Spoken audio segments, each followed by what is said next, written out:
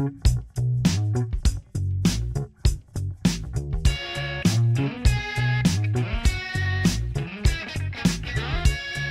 hello there, gracious gang. This is the Gracious Guest Show, and I'm your humble host, Mike Creedy. Thankful that you are joining me today. And wherever you are, by the way, however you're listening to this program, uh, kudos to you. Thank you for tuning in. Uh, gracious gang, by the way, is a term that is coined, actually, by a couple of my students. So I want to give a, a shout out to uh, Julia and to Alyssa. And uh, if you guys are listening, uh, it is official now the listeners of this program uh, are the gracious gang. So thank you so much because you are sort of just by default, I suppose, by tuning into this, a member of the gracious gang indeed. So welcome to the show. And um, today I want to kind of lay a little roadmap, basically, I, I guess, and uh, talk a little bit about wonder, which is a recurring, not just a recurring theme. That would be not. That would be a little disingenuous, I suppose. This show's about wonder. Uh, the impetus for it is wonder, the experience of wonder, and and what that means.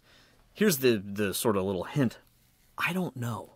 Okay, if by no you mean have it all figured out and just be a treasure trove of answers to people's questions about a particular topic, I don't know you know, if, if that's the, the way we're going with our definition of, of what it really means to know what wonder means. That being said, I think there's a lot that we all uh, sort of know from experience, maybe, or have these common experiences that sometimes we don't really consciously think about, or maybe describe or try to talk about. Um, but you know, when you when you do start talking about it with somebody, there's this sort of aha moment where even if you you know it, words always fail right? You know you try to describe this incredible meal you had or you try to describe this incredible trip the sunset that you saw in Scotland in the Highlands or the uh, experience of falling in love for the first time. That might be a topic we'll explore some other time but just to keep it a little more maybe simple than that but but also show how these things are um, all around us movies or books or um, you know certain memories that we have. So some of these things i was thinking about them and i, I decided since i like to do list shows sometimes i thought i would do mike's top 10 doorways to wonder as just like i said sort of a roadmap or, or maybe better put a um like a just a, a sort of a, a, a brief sketch you know or a signpost just to kind of think about this uh, overall experience that I, I, like to go into on this program and, and explore uh, through some of the different topics I, I uh, cover. So, 10, here we go Mike's top 10 doorways to wonder.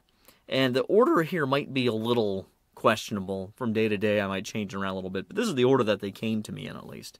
Number one. Uh, yeah, I'm going to do it that way. I'm not going to do like a countdown. It's just going to be 10 things. So, number one the smell of the seasons. I don't know if you were expecting that or not. And I think you might know what I mean right away. The smell of the seasons. There are um, distinct sort of smells when a season is changing. At least I, I kind of notice that just, I don't know, it catapults me somewhere other than where I am right at the moment. you know, um, and and um, you know, so just to kind of take them in order a little bit for me personally, um, at the beginning of the year, like when winter's really kind of kicking in, it's you know, there's that that crispness in the air. You're already getting from fall a little bit, and I'll finish with with fall. But like winter, you know, you you you just you detect little things. You know, you detect.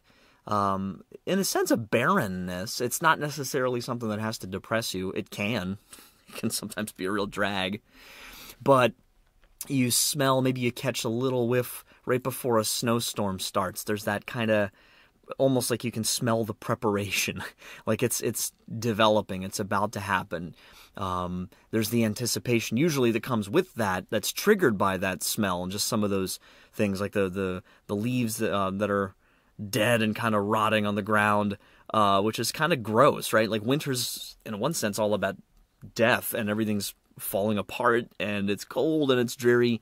But um, there's those those you know smells I think, are especially around a snowstorm, that are just you know kind of there that um, uh, you know, it, it, you may not be dwelling on those particular specific smells, but they make you, you know, kind of a little nostalgic maybe. Or if it's around Christmas time, right? You know, and you want it to be a a, wind, a, a white Christmas. Um, you know, so then spring, of course, you know, you get the a lot of different smells like the the flowers, right? Um, the uh, just the air itself. I swear, I, I you know when it's getting warmer and you can just smell that like the air seems to have more life in it. You know, it's it's like there's something there, not so much a lack of it. Um, and it's it's just you know the the the new life, the blooming, um, little bit of warmth, but it's not too warm yet. You know, then summer. There's all sorts of stuffy, uh, fresh, uh, fresh cut rather uh, grass. You know, or how it smells in the summer right after a rainstorm.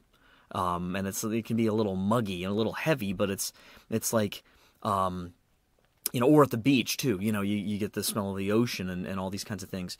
And uh, the sea itself, being at the ocean itself, that whole experience is a, is probably my one of my biggest doors to wonder. That's its own thing. I don't have it on this list. I have a whole separate show I did uh, last year about that. If you want to go back and check, I think it's like 28 or 20, episode 28 or 29 somewhere in there. Um, so check that out later. But uh, and the smells of summer, you know, like you go to a baseball game and you smell the hot dogs or the um, you know, just that kind of atmosphere you get when you're uh, in a in an environment like that for some big sporting event or something. You know, the the smell of the baseball field. Um, and then in the fall, you know, obviously the the leaves, the air starts to get a little crisper. It's not as heavy. You know, you're not at winter yet, but the leaves are changing, and you have all those beautiful sights and everything. But there's just like some some little hints you catch of of uh, the coming fall, and uh, maybe some apple cider, right, or you know something some spice kind of in the air, that kind of thing. So, you know, and I'm I'm not really that eloquent maybe at breaking all this down because I was just thinking of all this recently. But I think what's really behind it all, obviously, is is not so much the smells themselves, but the experiences that they drum up in your mind, or the um, uh, the memories too. And we'll get to that in a minute. So anyway, number one, the smells of the seasons. There's just always something about those that open me up to something bigger than whatever the mundane thing is I'm that I'm doing at the time uh, might happen to be. Uh, number two, movies. And some, obviously, look, some movies are better than others. Some movies are absolute trash and don't deserve being seen. Some are masterpieces. I'm not getting into all that, but just movies themselves, the experience of uh, entering into that realm of imagination that way, where um, you know you uh, you get in a sense fed this this vision that somebody else uh, put together in a sense, um, and all the stuff that comes with it, the music. Uh, the special effects, the experience of going to the movies, which I always really enjoy. Um, you know, that you, you set time aside and you go to this special place where this this kind of magic can happen.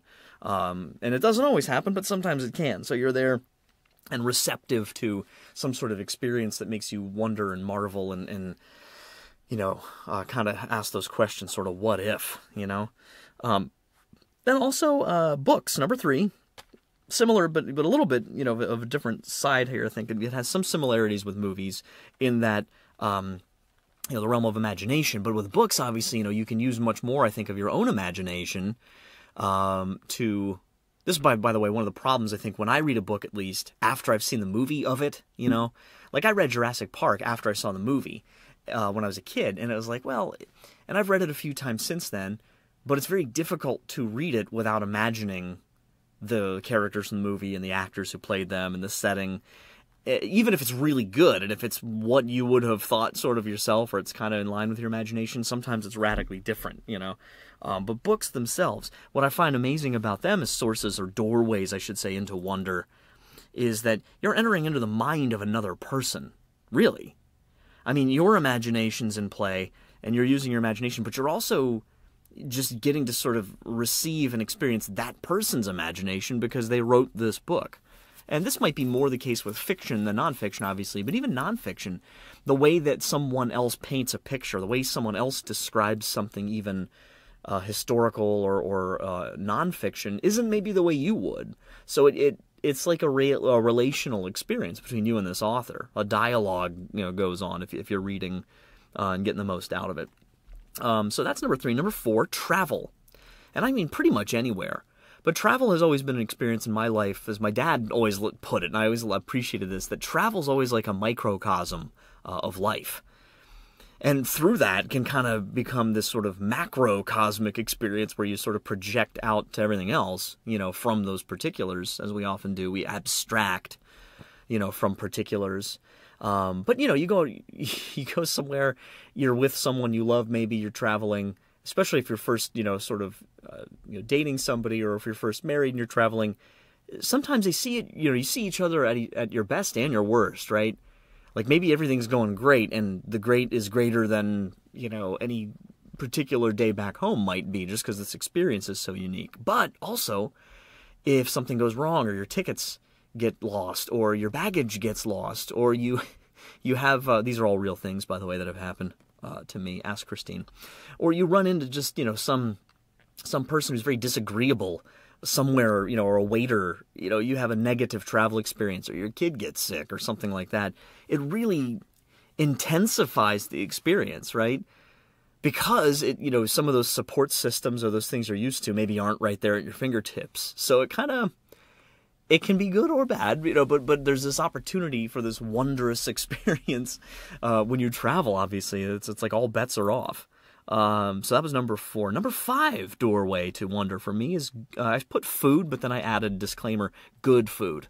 Bad food's not so much a doorway to wonder as it is a doorway to um, maybe the uh, restroom or the emergency room if you get food poisoning or something. Um, but but good food, you there's just something about uh, this restaurant experience. I'm thinking off the top of my head in, in Assisi when my wife and I were in Italy, sitting out on this balcony just overlooking God knows how many miles of, of Italian countryside and the mountains in the distance. And it was just, I mean, I I can't I can't imagine that memory ever diluting, you know.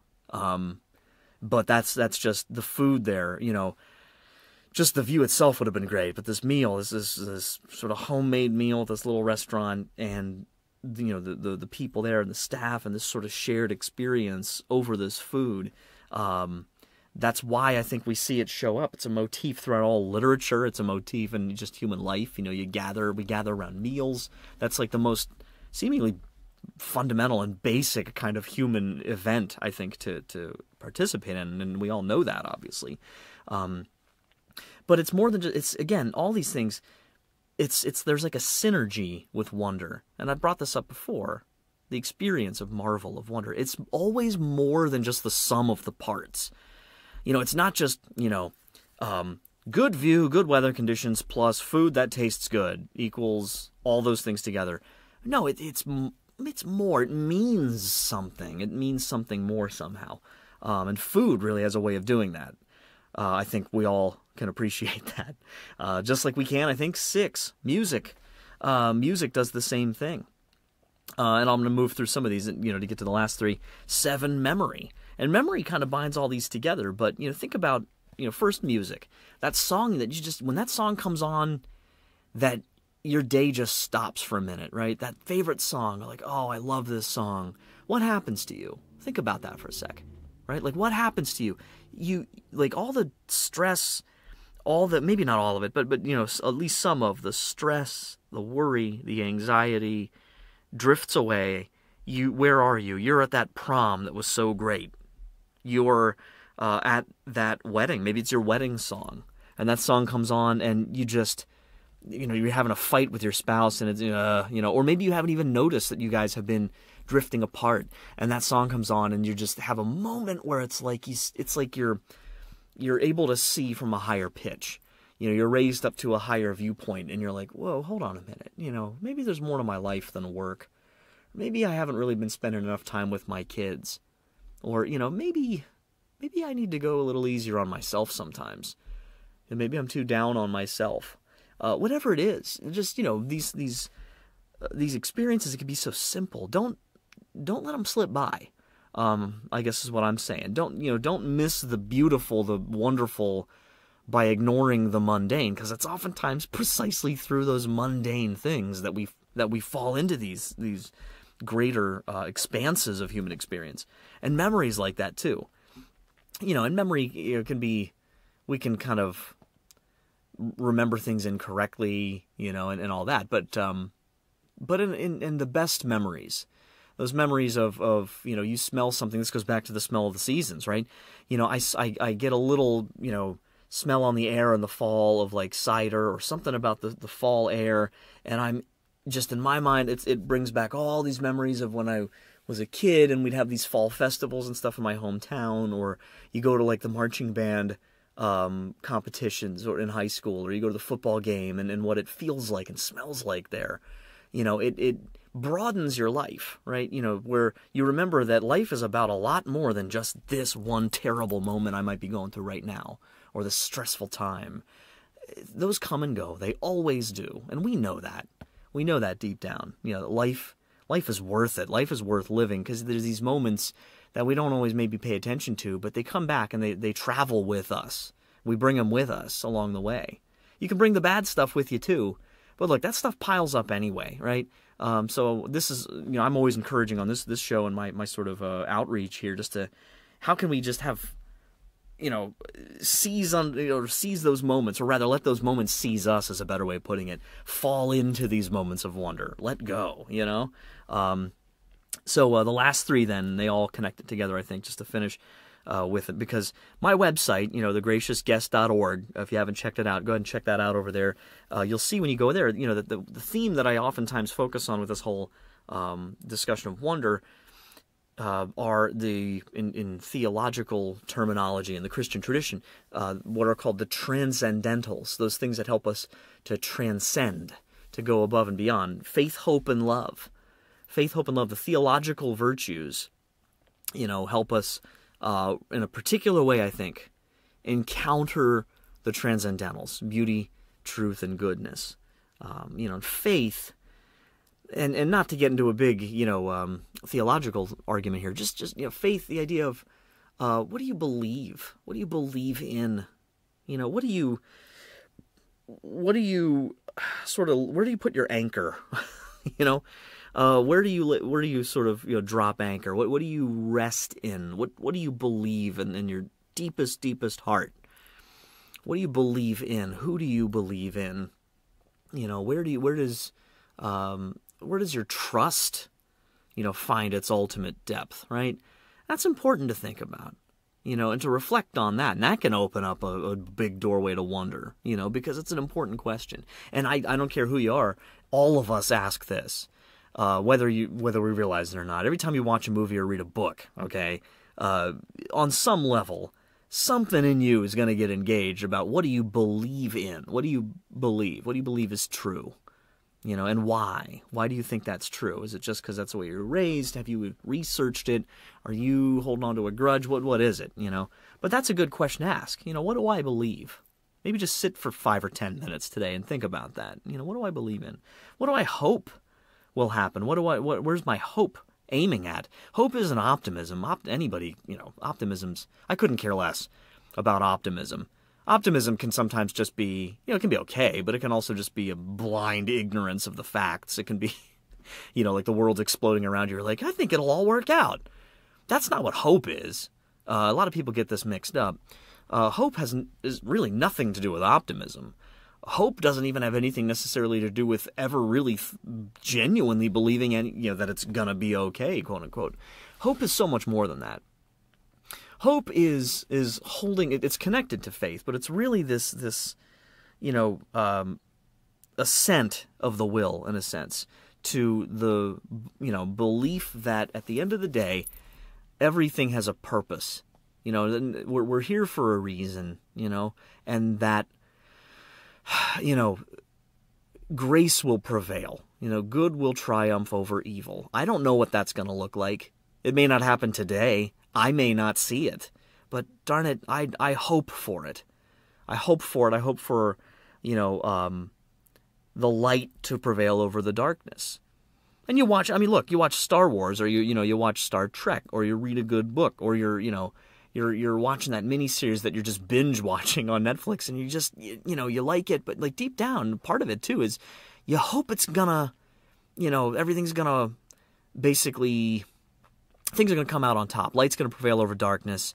You know, it might have a sad ending, but you hope that that some good comes out of it, right? You know, someone learns something from it. uh, the characters. Uh, maybe maybe even some characters die, but somehow, you know, they're they're part of something bigger than themselves, and um, you know, there's a little bit of trust, obviously, that, that's important in that experience. But hope, you know, that's another one to ask yourself. Maybe what do you hope for? You know, what goals do you have in life? What do you hope to see? You know, what do you what do you hope your life will be like ten years from now? You know, um, and then you know, what are you doing today about that? Are you contributing anything to that? Are you uh, closing yourself off to different opportunities that might help you? You know, and it's again not just goal setting, not just just sheer your own willpower. There's more. There's more than one will in play here. you know, so that's something to think about. And lastly, love. Uh, and I think everything just comes down to this. I think the greatest doorway of all to wonder is love. You know, because at the end of the day, I think wonder, this is the theologian maybe in me speaking a little bit, I think the experience of wonder, the experience of marvel, ultimately is an echo of eternal love. Not love, not a feeling. You know, feelings come and go. Love is willing the good of the other person, willing the good of another just because it's good for them, you know. Um, I want what's best for you. Uh, and what's best for you may not be what's best for me sometimes, you know, in terms of like what I might want. Um, you have a crush on someone and you just somehow come to realize that it's just not meant to be. You know, you really, really care about that person. You love that person. And they don't love you back, maybe. You know, you don't dominate them. You don't, you know, force them to love you. You know, there there comes a moment where if you truly love them, you might have to let them go their different path. That might be the right thing for them. Maybe it means intervening. Maybe there's someone in your life who is destroying themselves or destroying themselves somehow. Um, and we get caught up in the whole, you know, spirit of the world, you know, like, I don't want to be judgmental you darn well you, you darn well better be judgmental about their behavior if you really love somebody and they're behaving in a way that's destroying themselves. Um, uh, it's not judging them. You know, if you're a real friend, if you really love somebody, you're going to have the guts. And I'm not preaching. This is really hard for me, and I probably don't do it nearly as much as I should. Um, it's a real hard thing for me.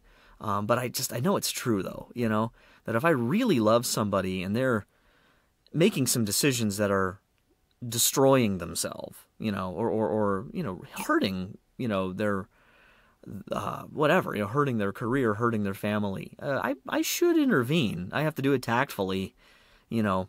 So that's that's you know the tough love thing. You know, love love has a lot of requirements, quite frankly. But it's you know whether it's our friends, our family, uh, what love ultimately is, you know. And I I think this is the the connection to wonder is it's it's ecstasy in the proper sense of that word. I don't know if you know this, folks. Ecstasy comes from an ancient word. Uh, in uh, Greek, it comes down through, I think, in, into Latin too, um, in some form. I can't remember off the top of my head, but I believe in Greek, you know, stasis, you know, ekstasis. It's it's the idea of standing outside oneself. That's what it means. You know, um, resurrection in in uh, the Christian tradition. You know, in the Greek language, anastasis you know anastasis it's you know to rise again you know like like or to you know rise up again this this upward standing of the body sort of is the idea of resurrection well stasis you know this ekstasis you know out of oneself or standing outside um that i think is really the key and that is precisely what I think all these doorways, you know, find us going when we go through them, you know. Well, what do we find on the other side? I think we find an experience, even just for a second sometimes, just for a moment, maybe you didn't even know what really happened, where you sort of got outside yourself a little bit. And you're able to get a better look, you know. Um, and I'm not talking about astral projection or some like out of body experience. Maybe, you know, the out of body experience um, seems to happen sometimes to people in different ways.